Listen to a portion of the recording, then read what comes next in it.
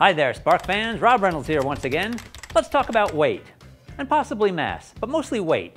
And let's talk about how you can measure it and what you can do with it with the amazing new SparkFun Qwiic Scale. The Qwiic Scale uses an NAU 7802 24-bit dual-channel ADC, or analog to digital converter, which allows you to easily read load cells to measure weight. Along with the 24-bit ADC, this board offers an on-chip temperature sensor, simultaneous 50 Hz and 60 Hz rejection with a programmable gain amplifier, programmable ADC output rates, and programmable power management options. And the NAU 7802 converts the output to I2C. So convenient!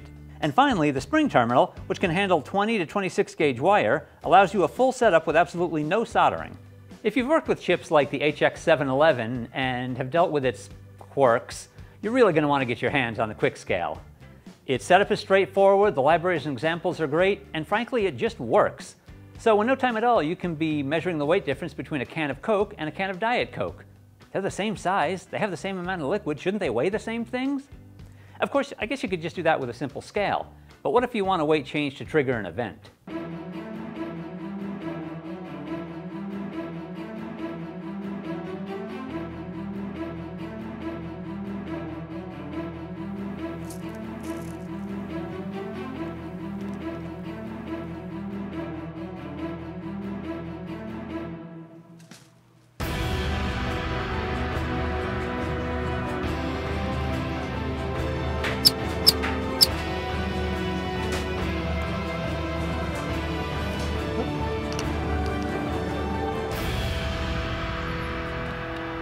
Thanks, Rob. That belongs in a museum. No, stop stealing things. The SparkFun Qwiic Scale has a ton of applications that are actually useful. Of course, recreating classic movie scenes is not without its charm. Pick yours up over at sparkfun.com and prepare for what comes next. Fortune and glory, kid. Fortune and glory.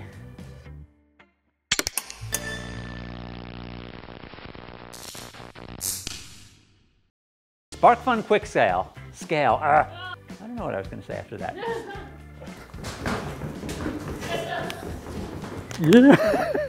Sorry, I thought they were going to open faster. Spoiler alert, it doesn't get any better. the SparkFun Qwiic Sale. Ah!